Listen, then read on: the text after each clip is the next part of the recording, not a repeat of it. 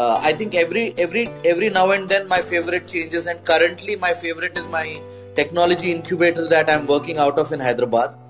Uh, I love working with young entrepreneurs. I love working with uh, young uh, artists. I like collaboration of art and uh, entrepreneurship. Uh, you've been to our space, uh, Octospaces in Hyderabad, and uh, the energy around uh, Octospaces is about art and entrepreneurship and uh, coming together of these two amazing energies. Uh, that's my favorite, but that's my current favorite, if you if you must say. I want to know how do you how do you process failure?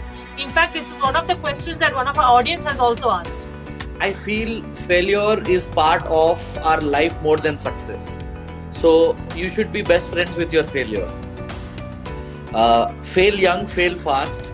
Uh, learn from your failures. Never make the same mistake again is what I live by. And uh, I'm scared when I don't fail, Saundarya. Honestly, sometimes when I when I'm doing uh, when I'm doing good work and I haven't seen a failure for a week or two, I'm scared. I'm scared that something's going wrong, right? So far, I've heard people trying to make themselves comfortable so that they feel settled and good. But you make yourself uncomfortable. So, who's your sounding board at that time?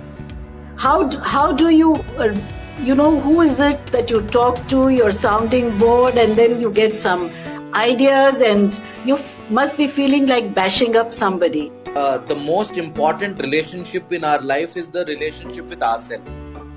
So uh, uh, we start reflecting everything that we do depending on how our relationship with ourselves is. So that's who I am sounding it to. I'm sounding Okay. myself, Hmm. and I have questions inside of me always. One Hmm. is who's taking my side, and one is the one who's not taking my side. Right? There's an alter ego.